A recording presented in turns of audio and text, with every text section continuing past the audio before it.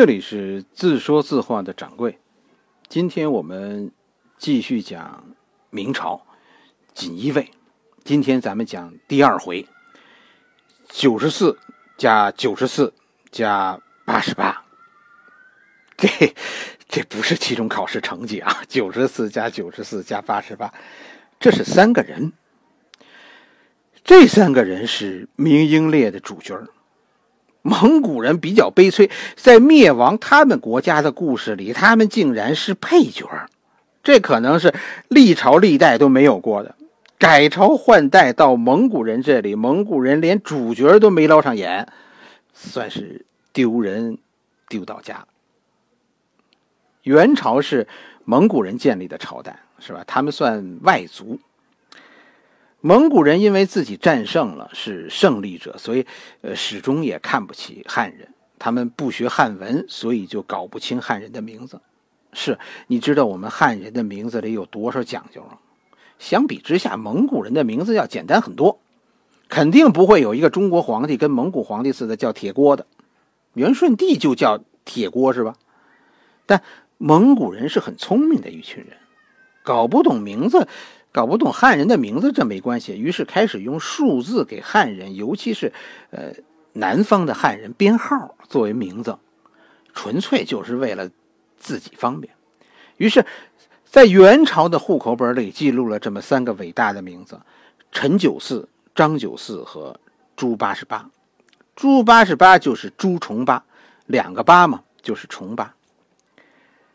元朝的开国皇帝朱元璋，在户口本上的名字就是朱重八，八十八号。与他一起造反的那些人，其实户口本上的名字都不是评书里的名字。陈友谅是九十四号。他是陈九四，另一个起义军将领张士诚也是九十四号，他是张九四。元朝人没搞出一个按名字尾号收税的办法，这说明元朝人没有咱们现在人聪明，是吧？尾号是零和五的啊，今天不许上街，你要上街，你得多交税。是我们比元朝人聪明多了。朱元璋。张士诚、陈友谅，这都是参加革命以后才起的汉人名字。我们先说说这个朱重八，过一会儿我们再介绍那两个九四。朱重八十六岁这一年，卖身期满，回到家中，到家一看啊，就大惊喜啊！不但他回来了，他逃亡在外很多年的父亲突然也回家了，居然啊，这一家人就团聚了。这是这个破碎的家庭难得的团聚。父亲说呢，整个河南现在都在闹灾，而且有瘟疫，这可不得了。瘟疫是蒙古人最害怕的，哪儿出了瘟疫，蒙古人就会将那个地区隔离，谁也不许出来。要往外闯，就得杀头。当然，蒙古人也会给些。救济是吧？就好像我们呃闹 SARS 那会儿，把你的楼隔离了，天天有人给你送盒饭，就是这个意思。听着挺好是吧？但蒙古人的救济，知所有的人都知道这是笑话。只是我跟你说，真笑不出来呀！有多少救济也喂不饱贪官。不久，瘟疫就传到了朱元璋他们家这一带。官府立刻就隔离了这个地区，任何人不能离开，这可要了朱家的命。为什么断绝交通对朱家有这么大影响呢？这要从朱家的行业说起，他们是要饭的。朱家按照朱家自己公布的家谱来说，他们祖上是有功名的，原本家里有点地，但从朱元璋的爷爷开始就破产了。朱元璋的爷爷和爸爸最后不但丢了祖上传下来的地，还欠了一屁股债，不得不到外地去打工。就是那几年丢掉土地的人特别多，所以打工也挣不到钱。打工的人太多了，当时给地主当长工呢，就是呃只管自己饭，家里根本就顾不上。朱元璋是兄弟四个，还有两个姐姐，你想想这个家吧。公公和男人都跑出去了，这也是个留守家庭，就老妈带着，这家里怎么生活呢？朱元璋是最小的一个孩子，朱老四，他二哥、三哥都被卖给地主了。朱元璋自己也是四岁就呃卖给地主家放牛，根据契约呢，一直干到十六岁。两个姐姐也是很早就去了外地，我估计啊也是卖了。家里最后就剩下母亲和大哥，这母子俩靠要饭为生。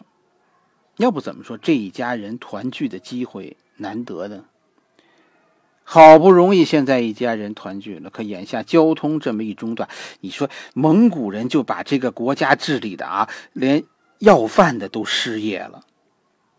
一个月以后，朱元璋的爸爸饿死了，三哥饿死了，然后是老妈饿死了，最后大哥也饿死了。一个月前刚刚团聚的一家人，现在就剩下朱元璋和他二哥了，而且这哥俩再待下再待下去，也是死路一条。怎么办呢？跑吧，也顾不得政府的禁令了。朱元璋和二哥是铤而走险，踏上逃荒之路。官员们后来抱怨朱元璋对他们太苛刻。我是觉得朱元璋可能确实是有病根的，他有杀人的毛病，而且看不得贪官，这都是现在落下的病根儿。听听老朱的遭遇，你就明白为什么以后会那样。朱元璋跑到了一座庙里当了和尚，这算是保住一条命。这里有个问题是吧？既然庙里有饭吃，那为什么大家不都去庙里吃饭呢？与其饿死，大家暂时当和尚就是了，对吧？其实不是这样，在当时啊，要饭有两种，一种是当乞丐，一种是当和尚。庙里也没饭吃的，要你自己去化缘。当乞丐和当和尚是没有太大区别，而且。大灾之年，庙门和地主家的大门都是紧闭的。一句话，地主家也没有余粮，只有少数像朱元璋这样年轻力壮、看着有要饭前途的，至少啊，他是能多要几年的人，才可能被寺庙收留。一句话，那个时代啊，连慈悲也是只能留给强者的。朱元璋就开始了化缘的生涯，好几年。后来有人说朱元璋是叫花子皇帝，说的就是这段化缘的经历。朱元璋可能也就是在这一段时间学习的文化。我们这里咱们插几句，说说元朝人的文化问题。咱们说的这三个人，九十四、九十四、八十八，这三个人是吧？陈友谅家里是渔民。而且是船民，就据说那种住在船上的渔民，他陆地上都没有家。据说这是很穷很穷的人家了。张士诚呢？张士诚家里是亭民。什么叫亭民呢？亭啊，就是亭子的亭，亭就是驿站，亭民就是驿站的苦力，搬运工，这就更穷了，是吧？算上朱元璋这三个人。这是社会最底层的家庭的三个人了，在那样一个落后的时代，那么一个没文化的蒙古人的统治之下，有一件事我说出来，你也许不信，这三个人都识字。所以你别小看元代，元代汉人其实文化水平是非常高的，你就知道为什么《三国演义》《水浒传》四大名著中有两部是出在元代，当年还有。元曲的盛行，可元朝满打满算不到七十年呢，这不是偶然的。元朝在文化上虽然朝廷里很蒙古是吧，但大宋朝的这些子民们还是很有文化修养的。我甚至认为元朝汉人识字的水平大体上应该和现在相当。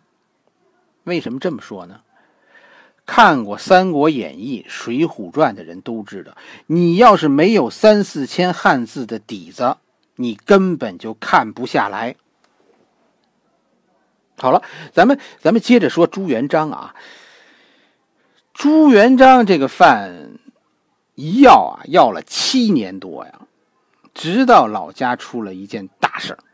一三五一年，韩山童、刘福通在安徽黄河治黄工地上，带领着白莲教的信徒发动了红巾军起义。为什么叫红巾军呢？就是他们头上啊包着一块红布，所以叫红巾军。这是一三五一年发动起义。第二年就是一三五二年，朱元璋老家的白莲教信徒也发动了起义。起义军的首领就是朱元璋未来的老丈人郭子兴，朱元璋就加入了郭子兴的队伍。朱元璋自己后来说呢，说当年革命啊，就是造反是迫不得已，因为他自己说，因为发小汤和呀最先加入了红巾军，给朱元璋写了一封信。被庙里的人看见了，于是，呃，担心被人告发，不得已，那就只能参加红巾军。这是瞎说，是吧？因为有人考证过，此时朱元璋待的那个庙啊，已经被元军烧了。元军为什么烧庙呢？元朝人那个时候也已经开始信喇嘛教了，也是佛教，是吧？他们为什么要烧佛寺呢？这里我我的猜想啊，我有我这么猜想，这个原因应该是这庙有问题，这不是佛寺，这个应该是明教的寺院。明教曾经是元朝末年盛极一时的宗教，据说信众有几百万人。你看，呃，白莲教韩山童起义的时候，他是白莲教的，但他说自己是明王下凡，实际上就是要沾点明教的光。朱元璋实际上有专家考证过，他参加的就是明教。元朝人烧了寺院，其实我估计就是因为这个寺啊，这个庙啊是明教的寺院。明教现在造反了，寺院当然不能留。明教是一个外国宗教，但是呢，它一到中国呢就被本土化了。明教的教义是什么呢？明教的意思是说啊，这世界上只有一个神，但是呢，这个神在不同时期呢，这位大神以不同的身份呢访问人访问人间，所以呢，呃，印度的佛祖、西方的基督、阿拉伯世界的先知，都是这位神的化身。在西方，明教遭到了抵制，但在东方，它反而兴盛起来。明教一个显著的结果啊，就是将道教和佛教融为一体了。实际上，《西游记》中的世界就是明教的世界，对吧？西天佛祖和玉皇大帝，这一个是佛教，一个是道教，他们是什么关系呢？呃，他们是友邦。明教在日常生活中呢，你可以拜佛，也可以拜了君，这无所谓。因为这都是真神下凡，都是神的化身。重要的其实不是说你信什么，而是说这是一个社会组织，就跟那个呃传销团体是一样的。通过这种人与人之间的关怀啊，让大家觉得温暖。然后我们抱团咱们一起干一件什么事儿？这件事儿呢，不一定，可能是修桥补路，可能是做义工，也可能是救济灾区，但。也可能就是造反。明元末大起义，白莲这个明教被白莲教抢了先。白莲教现在说呢，说自己是明王下凡。这白莲教是怎么回事呢？白莲教原本是佛教的一支，这白莲教真的是好出身，它是呃佛教净土宗演化来的。但白莲教随后和佛教呢有了一点区别。佛家是众生平等的，所以僧人其实都是平等的修行者。是道行有区别，但身份是一样的。方丈和知客僧其实是平等的，只是分工不同，没有隶属关系的。反正至少理论上是这样啊。白莲教就不一样了，白莲教也是一个组织，他们拜阿弥陀佛，是吧？在各地呢都有堂主。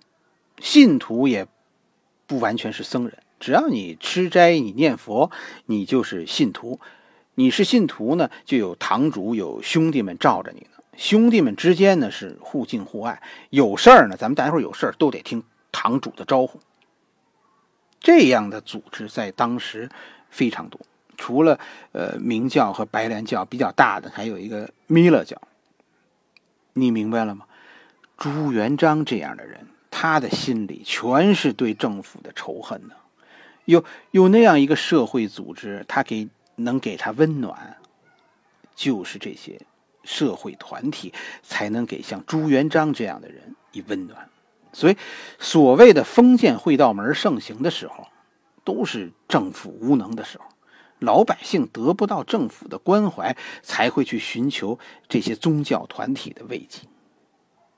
朱元璋自己真的信这些吗？他是一个呃虔诚的明教徒吗？应该不是，他只是觉得温暖。朱元璋和陈友谅实际上都是靠明教起家的。白莲教的起义虽然一开始占了先机，但最终呢，是呃还是被信众更多的明教抢了风头。汉家最终成了明教的天下，但陈友谅和朱元璋在掌权以后都采取了去宗教化的措施，甚至于朱元璋呃建立了明朝，当了皇帝以后翻脸不认人，宣布明教、白莲教、弥勒教为邪教组织，彻底取缔，甚至加以镇压。这是让人深思的，是吧？这种宗教组织其实它的危害是显而易见的，因为它建立起的是盲从，特别容易被利用。我其实，呃，心里是觉得啊，小孩子啊，现在咱们社会上，咱们家里的小孩子啊，应该让他有点信仰，不管他信什么，都要占一个位子，不然啊，将来容易会受到社会上这些组织的洗脑。现在据说大学生很多被传销组织洗脑的例子，我觉得就是这个问题。朱元璋在参加了起义以后，就得到了郭子兴的赏识，甚至于啊，郭子兴把自己的义女马姑娘嫁给了这个大龄和尚，马姑娘就是后来的大脚马皇后。是朱元璋这个时候二十四岁了，在元朝。这就是大龄青年了。郭子兴是红巾军中的嫡系部队，按现在的说法，呃，郭子兴是参加过秋收起义的领导人。按理说，呃，朱元璋跟着自己的岳父，这应该是最好的选择。可朱元璋呢？朱元璋在郭子兴最顺风顺水的时候，选择了离开郭子兴的部队，去。自立山头。朱元璋的离开，这个故事其实应该仔细读，这是一个很能说明郭朱元璋的性格和做事风格的事情。如果你是一个创业者啊，朱元璋的历史其实是你必须读的。你呀，你就应该好好读读咱们这位祖先，这比你读多少洋人的教程都管用。史蒂夫·乔布斯不过就是一个外国人。你跟着我的脚步，我们下一回开始重走朱元璋的创业之路。好了，我是自说自话的掌柜，在这里恭候你的倾听。